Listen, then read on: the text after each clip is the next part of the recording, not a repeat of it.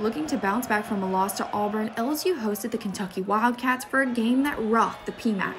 Both teams were ready for the fight with five lead changes in the first half, with the Tigers shooting 41.4% from the field and 50% from downtown. I thought our focus was better coming into this game. You know, we're going to play extremely hard. I think everybody knows that every night. It's just matter of our focus and our details, and I thought our details were better. In the second half, LSU went on a 20 2 run against Kentucky, and sophomore guard Eric Gaines put on a show with two big threes, one of them putting LSU in the lead. That momentum built up until the last seconds of the game with an electric finish that put the Tigers on top 65 to 60. I thought those guys did a um, I thought those guys did a did, did a nice job. So really proud of Eric. You know, he hit he hit a big three for us. He hit two big threes for us. Um, but you know, he's been working, and when you work and you do the right stuff, um, you know, good things happen.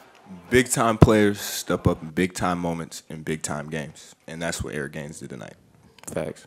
This LSU team is fairly new, with transfers and freshmen taking the court, but now they know what it's like to play in the SEC, and they're proving to be a top contender in the conference. Uh, even some of the guys who've been here last year don't have, you know, a lot of experience in SEC SEC play. I'm sorry, um, but uh, playing and these first two games, I think it's it's been it's been very helpful to get us acclimated.